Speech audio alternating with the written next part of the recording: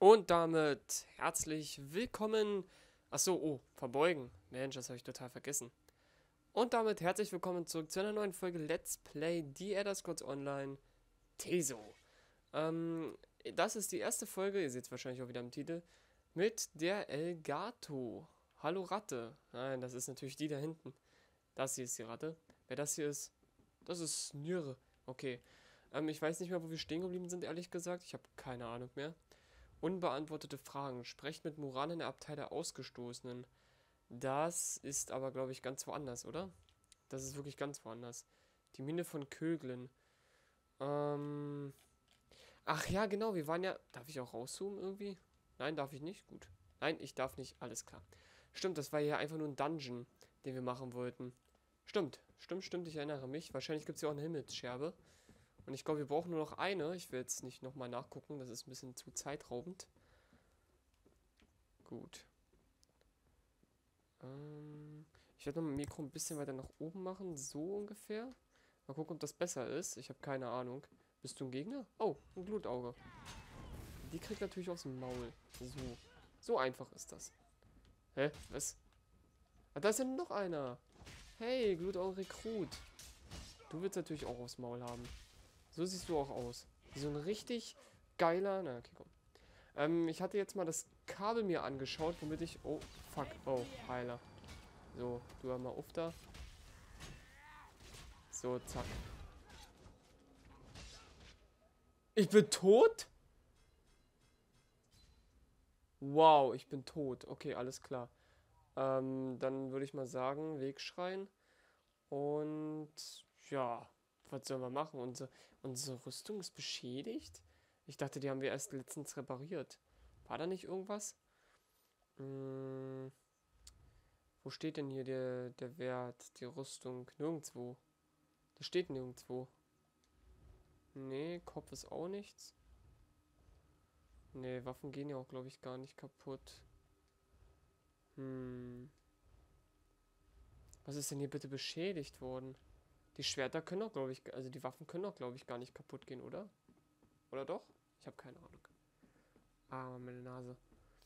Es kann natürlich auch sein, dass man, dass man mich durch die Elgato ein bisschen doppelt hört teilweise. Also nur leicht. Ich hoffe es natürlich nicht. Aber, naja. Es kann vorkommen. Das, das will ich natürlich nicht. Deswegen versuche ich da dann noch ein bisschen was dran zu fixen. Und falls das dann irgendwann alles wirklich klappt, dann wäre das schon ziemlich geil. Stimmt, ich habe ja noch meinen Bogen. Fällt mir mal gerade so... Oh Gott. Fällt mir mal gerade so ein. Oh, ich habe irgendwas bekommen. Das sieht aus wie... Ich muss mich mal kurz ein bisschen zurücklehnen. Mittlere Rüstung. Äh, ich habe noch nichts für die Taille? Was? Wow. Ja, dann lege ich es natürlich an, ist ja klar. Warum habe ich noch nichts für die Taille? Okay. Komisch, aber gut. Also nicht gut, aber ne, ihr wisst, was ich meine. Ich wollte eigentlich den hier treffen. So. So, du Schlampe stirbst jetzt. Oh, ich habe mich selbst geheilt. Das wollte ich natürlich nicht. Denn hier gibt es nichts zu heilen bei mir. Hm, wäre der Weg hier auch gegangen, frage ich mich gerade. Ah. Weg mit dir. Und du, du kommst gar nicht erst in die Idee, dich zu heilen. Das schaffst du nicht, mein Fräuleinchen. Bisschen Gold. Ah, versklavte Dorfbewohner auch noch hier, ja. Oh! ich dachte gerade schon, okay, der Typ hier sieht nicht so aus, als wenn er arbeiten würde. Was macht er hier? Oh, das sah geil aus. Ein Eichenschild. Ein Eichenschild. Nirgendwo hier, Nebenhand wahrscheinlich. Oh, Badass. Eichenschild des Lebens. Ja, dann kann das ja eigentlich... Ja, kann zerstört werden. Aber ich benutze keine Schilde. Das ist auch teilweise ein bisschen doof, weil Schilde bieten halt mehr Schutz, ne? Und gerade ich hier brauche ja ein bisschen mehr Schutz. Äh? Okay, Moment. Mit what? Stopp. Danke. Stopp. Danke. Kann sein, dass ich mehr Ausdauer habe. Durch irgendeinen Zufall. Ich habe keine Ahnung mehr. Ich kann mich äh, dunkel daran erinnern, weil ich muss unbedingt Teso aufnehmen. Ich habe nämlich kaum noch Folgen. Und da ja jetzt jeden Tag eine Folge kommt, weil, wow, nice one. Oh, Bericht des Vorarbeiters. Bergwerker. Die Magiergilde hat sich entschieden, diesen Einsatz abzubrechen. Sieht aus, als hätte Giara unsere Zeit vergeudet. Wir haben in der gesamten Zeit, die wir hier waren, drei Geoden gefunden. Zwei von ihnen sind zerbrochen, als sie sie als Seelensterne verwenden wollten. Ich vermute, dass ihr einfach die Fähigkeiten, dass ihr einfach die Fähigkeiten fehlt.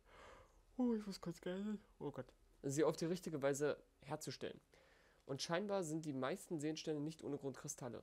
Ich hasse es, wenn die Laune, die Launen irgendeines Magiers Leben aufs Spiel setzen. Diese Mine ist nicht rentabel genug.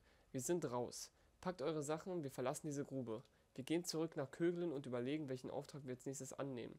Wir müssen hier raus, bevor wir noch mehr Leute verlieren. Lasst alles stehen und liegen. Setzt euch in Bewegung. Der Boss. Und wer der Boss ist, werden wir wahrscheinlich... Äh, Moment, wait, what? Ach so, da kommen wir wieder so raus. Hier ist also quasi Schicht im Schacht beinahe schon. Gibt's fast nichts mehr zurück. Oh, Boss, Boss, Boss, Boss. Nice. Nice, nice, nice, nice. Aua. Na, warte. Hier, jetzt kriegst du es. Bam. Zack, zack, zack. Weg die Sau. Gold, ja, ja, ja, Jahresfaust. Uh, ein Streitkolben, zweihändig. Der sah sogar noch besser aus als... Na, wohl, ja. Ich will jetzt nichts sagen.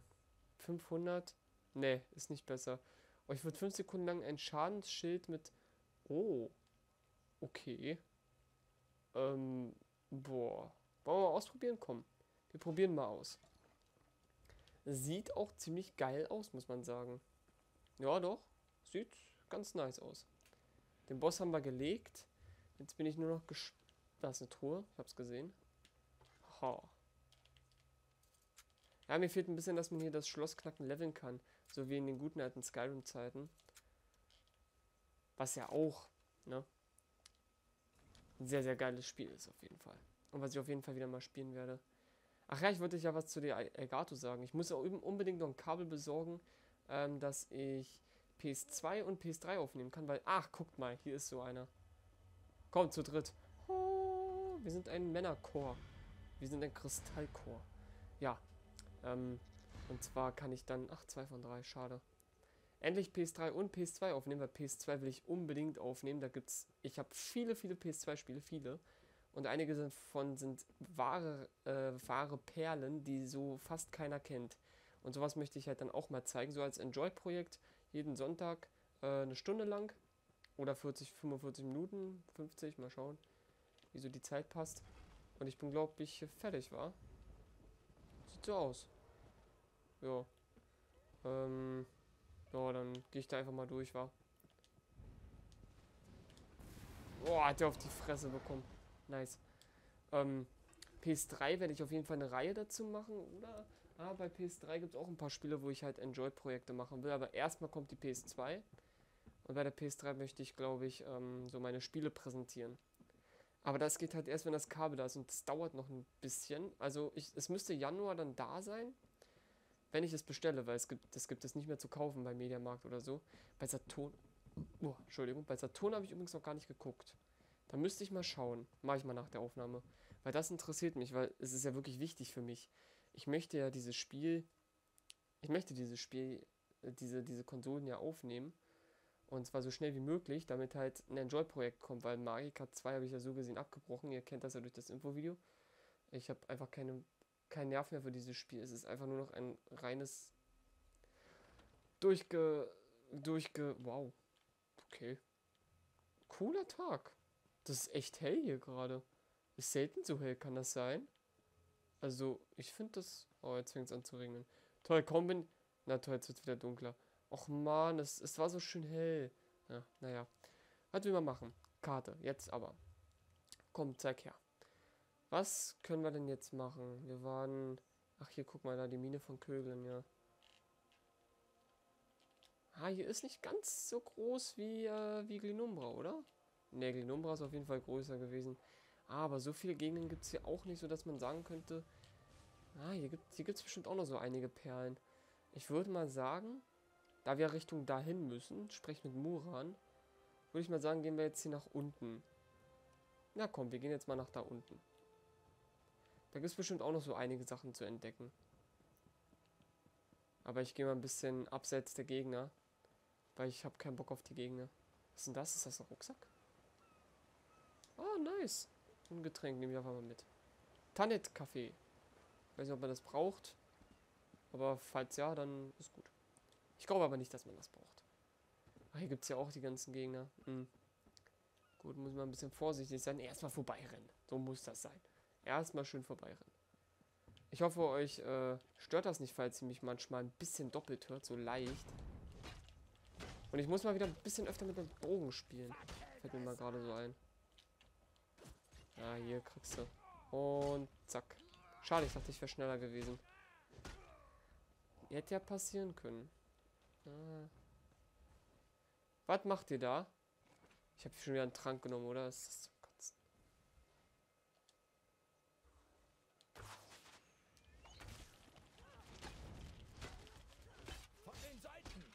Lasst die Frau in Ruhe. Sie hat euch nichts getan. Boah, eine Bäuerin, die mir das Leben gerettet hat. Na, okay, gut, ich habe kaum was verloren gehabt. Schönes Feineisenerz. Falls ihr die anderen Projekte nicht guckt oder das Infovideo nicht gesehen habt, es gibt ähm, auch keine Cuts mehr. Ne? Also das muss jetzt auch nicht mehr sein. Ähm, kann natürlich sein, dass ich irgendwann mal wieder einen Cut machen werde. Äh, wenn, wenn irgendwas Wichtiges ist, dann geht es mal nicht anders. Aber mittlerweile, oh, das Artura-Anwesen. Aha, hier gibt es doch bestimmt so die eine oder andere Quest. Guck mal, sogar der Punkt, das ist doch nice. Ja, hier gibt es eine Quest. 100, 100 pro. Millionen pro. Ganz ehrlich, wenn es hier keine Quest gibt, dann fresse ich einen Schuh vor der Kamera, ey. Ich hätte mal, glaube ich, nichts sagen sollen, oder? Mann, lasst mich doch mal hier hoch. Hoch, danke. Ich kann hier... Ich kann da nicht so rein. Sag mir jetzt nicht, ich muss jetzt wirklich hier durch. Hä? Hä? Ich will doch da rein. Ich kann da nicht durch, das ist eine unsichtbare Wand. Und das finde ich jetzt ein bisschen, das finde ich jetzt ein bisschen schade. Ah, guck mal, da ist schon eine Quest, sage ich doch. Gut, ich muss keinen Schuh fressen. Eh, lass mich hier durch. So. Feldwebel, oh, oh, Orga. Ach, du bist, ach so, du bist ein NPC. Die Tür zum, ah, da will ich noch nicht rein. Ich werde mal gucken. Ah, das ist ein Wegschrein, guck mal. Der Seelenberaubten. Soll ich erstmal dahin gehen? Oh, da ist auch noch was. Der Magier. Oh, da ist auch noch was. Meine Fresse, wir gehen immer näher an Wegesruhe ran. Das wollte ich eigentlich gar nicht. Gut, gehen wir jetzt mal zur Quest. Hallo, Feldwebe Orga. Ich weiß nicht, wie viel ich davon noch ertragen kann. Zu warten, dass der General uns zurück in den Kampf gegen die Eisenhand-Oger ruft, zehrt an meinen Nerven. Mm, könnt ihr um eine Versetzung bitten? Ich weiß nicht, ob das klug wäre. All dieses Warten hat mir genug Zeit zum Nachdenken gegeben. Ich kriege die Idee einfach nicht mehr aus dem Kopf, dass ich die nächste Schlacht nicht überleben werde. So verrückt das auch sein mag. Ich denke sogar über eine Opfergabe an Azura nach. Ich glaube, ich muss mal den Spielton ein bisschen lauter machen, habe ich das Gefühl. Moment. So vielleicht? Ich habe keine Ahnung. Ich, ich, ich guck mal nach. Ihr wollt euch den Schutz einer dädrischen Fürstin erflehen? Ich weiß, das ist zwar nicht richtig, aber ich spürte schon immer eine gewisse Verbindung zu Azura. Mein Vater war ein Geisthüter. Das eigentliche Problem ist, dass ich meinen Posten nicht verlassen darf. Ich frage mich, ob ihr das hier vielleicht zu Bruder Dumont in der Abtei der Ausgestoßenen bringen könntet. Sicher, wenn es euch dann besser geht. Cool. Eine Opfergabe für Azura. Ähm, ich glaube, jetzt ist der Spielsound wirklich ein bisschen lauter. Ich weiß nicht, wie es davor war. Ich höre es mal im Video und wenn nicht, dann ändere ich das wieder, weil bei Fallout habe ich das auf 29 und jetzt habe ich es auf 43 aktuell. Vielleicht, also, also es ist alles noch im grünen Bereich, das heißt, es ist alles noch in Ordnung. Das ist doch schön. So, soll ich jetzt da hingehen? Boah, wo ist denn die Quest? Ich weiß, ich kann auch anders nachgucken, aber das ist mir jetzt gerade ein bisschen... Da, also... Stufe 20? Okay. Meinetwegen. Wo ist denn die Quest? Ähm, wow. Wow, nicht im Ernst. Ha, geil, die ist genau da. Genau da, wo ich hin will eigentlich, aber mh, hm, naja. Gut, dann gehen wir jetzt mal zum Schrein. Meine Güte, ey. Und irgendwann für Battles hole ich mir noch ein Mikro. Aber, mit, aber momentan muss man äh, bei Battles, also bei Battles, ne, ihr wisst schon, wo ich äh, mit Jay oder vielleicht auch mal mit anderen Leuten spielen werde. What the fuck? Priesterin. Verfluchter Schädel. Was ist denn hier alles? Gibt's ja gar nicht. Wo ist denn jetzt hier der, der... Ach, da hinten ist er. Ähm... Oh, Eiche, nice. Was Neues, oder? Dann werde ich, ähm... Mal, glaube ich, ein Mikro irgendwann holen, besorgen. Bis dahin muss man sich halt noch, ähm... Naja, zurecht mit dem, mit dem, mit der Qualität von den äh, Videos davor, wo ich mit Jay äh, gebettelt halt. habe. Geht nicht weiter, bis ihr mit da mir gesprochen damit habt. Dann zufrieden geben. O furchtloser Reisender, lauscht meinen Worten, ehe ihr diesen Hügel erklimmt. Was ist hier los? Seht ihr dort hinter mir den Hügel mit dem Turm auf der Spitze? Er ist zum Ausgangspunkt für Abscheulichkeiten geworden, die von jenseits Mundus stammen. Dämonische Geister, die ausgesandt wurden, um die Sterblichen zu quälen. Entschuldigt. Ich bin eine Priesterin Stendars. Wir reden immer so. Jedenfalls ist das eine schlimme ähm, Sache. Kann ich irgendwie helfen? Ich hoffe es. Die zaubermächtigen Untoten auf der Anhöhe haben einige der hiesigen gefangen, die zu dicht um den Hügel streiften. Ich wollte sie retten, aber ich wurde von der schrecklichen, heimtückischen Kraft dieser Umnachteten. Jedenfalls haben sie mich zurückgeschlagen. Ich werde sehen, ob ich sie retten kann. Seid vorsichtig, seid wachsam, vertraut auf Stenda. Hm, wo bin ich hier eigentlich? Einst war jener unheilvolle verlassene Turm Teil des Gartens von Prinzessin Violetta, einer Tochter aus dem Hause Gardner, das vor Emmerich über Wegesruhe herrschte. Es war ein fröhlicher Ort, an dem Blumen blühten, Vögel sangen und liebende Lust wandelten. Es war sehr schön hier. Mm, und was ist mit ihm geschehen? Der dädrische Fürst Molag Baal wurde auf seine Reinheit und seine Aura der wohlmeinenden Güte aufmerksam und fühlte sich dadurch unermesslich beleidigt. Er überzog die Anhöhe mit einem Pesthauch und schickte grausige Untote, um sie zu schänden. So wurde aus dem fröhlichen Vogelsangturm von einst der garstige Turm der Seelenberaubten. Und was machen die Untoten mit den Gefangenen? Sie unterziehen sie derart grässlicher Reden, dass nähere Einzelheiten euch den Verstand kosten würden. Belassen wir es dabei dass die Nekromanten Energie aus dem Leid der Gefangenen ziehen, um damit die Barriere zwischen den Welten niederzureißen und noch mehr von ihrer ruchlosen Brut zu beschwören. Ich meine, sie opfern mhm. sie. Alles klar. What the fuck, hier ist ja noch mehr. Achso, ich will jetzt hier, äh... Nee. Nee. Sprecht mit Valaste. Nee, geht zur Zuflucht? Nee. Ah, da ist ja. Abscheulichkeit vom Jenseits. Aus dem Jenseits, meine ich. So, und der verfluchte Schädel hat natürlich auch noch eine Quest. So, dann gib mal her. Ihr, ihr seid in Kalthafen gewesen. Ich sehe sein Mal an euch. Ihr müsst mich hören können. Ihr sprecht nicht gerade wirklich mit mir, oder? Ja, ihr wie ich wurdet ihr vom Herrn der Gewalt geschändet. Ich schreie schon so lange. Ihr müsst uns vernichten, Lehrer. Ich will nicht mehr seine Augen sein. Und wessen Augen, wessen Augen meinst du? Des Herrn von Kalthafen, Molak Baal. Die Nekromanten planen uns dort aufzustellen, wo wir seine Feinde ausspionieren können. Selbst jetzt blickt er euch durch meine Augen an. Sammelt die verfluchten Schädel, werft uns auf den Leichenhaufen im Turm, beendet unsere Qual. Okay, ich werde euer Leid beenden und die Augen von Mulak Bal blenden. Geil, ich habe eine Quest vom Totenschädel bekommen. Das gibt es auch... Oh. Okay. Ihr seid nicht gerade leicht gemacht, ey. Nee, so leicht sind die, glaube ich, gar nicht. Hier ist noch ein Totenschädel. Jo, danke. Zwei von sechs. Okay, Freunde. Hier ist äh, Quest-Time angesagt. Dann würde ich mal sagen, werde ich hier den Cut machen. Äh, was heißt den Cut? Also die Folge beenden, ja. Jetzt gibt es keine Cuts mehr, sondern jetzt werde ich jetzt die Folge beenden. Haut rein, bis zum nächsten Part von Let's Play The Elder Scrolls Online Teso, wenn wir uns den Schädeln und den äh, Gefangenen hier widmen und mal schauen, was der Magierstein so kann. Wir haben ja im letzten Part oder vorletzten Part, glaube ich, irgendeinen anderen Stein angenommen. Ich weiß aber gar nicht mehr welchen. Nun gut, ich gucke mal, wie das jetzt mit dem Ton so ist.